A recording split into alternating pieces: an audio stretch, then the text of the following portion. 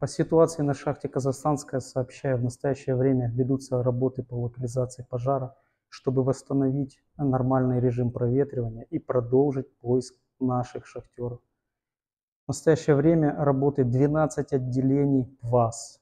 Тело одного погибшего обнаружено и поднято на поверхность. Мы не теряем надежды и, и обязательно продолжим поиск шахтеров. Мы просим всех держаться и надеяться. В настоящий момент все силы угольного департамента сконцентрированы на спасении наших шахтеров.